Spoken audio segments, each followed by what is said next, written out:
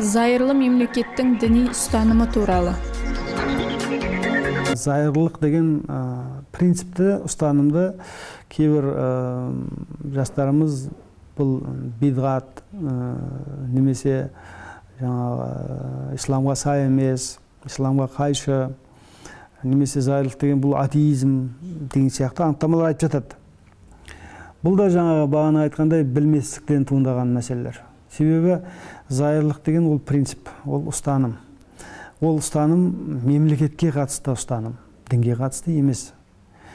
Дінге қатысты болса егер онда айтар едік е мынау ә, дінге немесе идеологияға қатысты болатын болса ой ол атеизм екен ғой деп айтсақ болар олай емес ол зайырлық мемлекетке қатысты ұстаным болған кезде оның құқықтық негіздерімен өлшенетін ұстаным.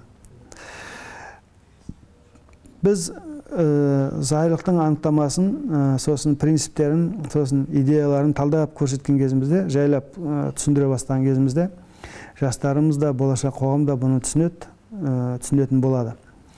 Тарихында ең бірінші мәселе дін діни билікпенен мынау мемлекеттік биліктің ажыратылуын принцип ретінде көрсеткен ең алғашқы мына батыстық оқиғалар құбылыстар соның негізінде қалыптасқанын білеміз ғой енді. Ал енді бұның бүгінгі қазақстанда мына республикалық жүйеде республикалық жүйедегі мемлекетте зайырлықты мысалға ең басты ұстаным ретінде көрсетеміз біз. Демократиялық құқықтық мемлекеттің басты ұстанымы деп көрсетеміз. Оны кеше елбасымыз жаңағы зайырлықты ең басты құндылық ретінде көрсетті ғой.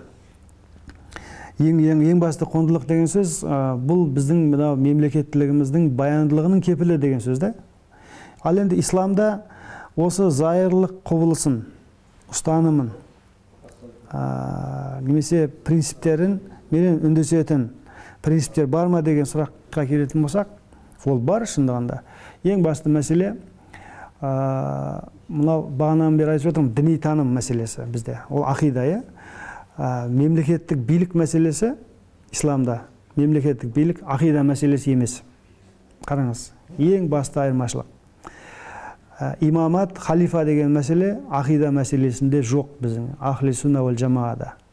Бірақ шияларда бар ақида мәселесі себебі ол жерде масум деген мәселе бар жаңа имам. Бізде жаңағы шатаспайтын мысалға ешқандай жаңа күнәсіз имамдар басқарады. 12 имам мысалға иә деген мәселе. Сондай силсила жасап алғандар. Олардың ақида мәселесі тақырыбы. А бізде ақида тақырыбына кірмейді бұл. Екінші бір мәселе біздің дініміздің негізгі құжаты сунна. Суннаның негізі қалыптастырушысы ол хазірет мұхаммед пайғамбарымыз нұбуат нұбуатта нұбуат пенен рисалат иә? Рисалат пенен уәлаят деп атамыз жаңағы билік және пайғамбарлық иә? Патша және пайғамбар деген мәселе екеуінде бірдей болды пайғамбардың тірі кезінде. Бірақ пайғамбарымыз қайтыс болғаннан кейінгі дәуірлерде немесе қайтыс болатынның алдында пайғамбарымыздан қараған аманат хадис немесе негіздер бар ма дейтін болсақ онда ешқандай негіз жоқ. Теократия деген сөз мына мемлекетті алланың атынан басқару деген сөз мемлекетті. Жаңа зайырлық мемлекет пен діни биліктің ажыратылуы деген ұстаным. Ол жерде мысалға улул әмір иә? Қарасаңыз орталарыңыздан шыққан аллаға пайғамбарыңызға және оны улул әмір араларыңыздан шыққан мемлекет басшысына бағыныңыздар деген мәселе бар. Бағыныңыздар деген кезіңізде жаңағы пайғамбарлықты да айтып отыр и басшылықты да айтып отыр. Егер басшылықпенен низа дейді келіспеушілік туған жағдайда ол сіз пайғамбарыңызға шағыныңыз дейді көрдіңіз ба аяттың мәні сондай. Бұл негіздеп алып отқан кезде. Ал тарихта да діни тәжірибе тарихымызда пайғамбарлық әсірет тарихында зайырлықтың бүкіл платформасы принциптері бізде нақты сақталған.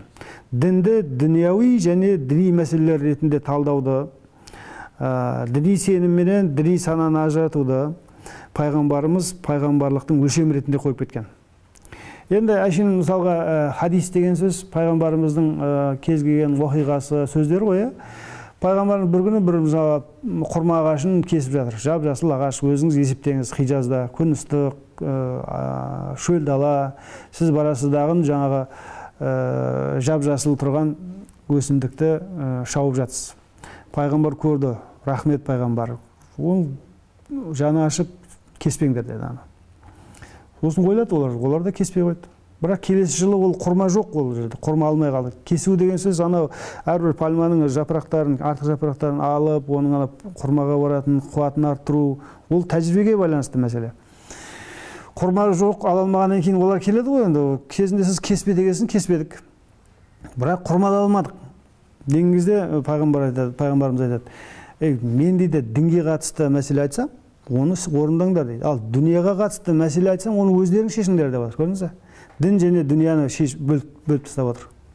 Яғни екеуінің дінге қатысты мәселенің басқа дүнияға қатысты мәселелерді мысалы муамалят мәселелерін басқа ұстаным ретінде бөліп қарастырып отыр қарасаңыз. А зайырлықтағы ең басты мәселе мемлекет мәселесінде ол бізде исламда ақида мәселесіне кірмейді ол мысалы қарасаңыз. Жаңағы мемлекеттік билік мәселесі басшы мәселесі. Осы тұрғыдан келгенде исламның табиғатында ол зайырлық ұстанымдардың бар екендігін айтуымыз керек.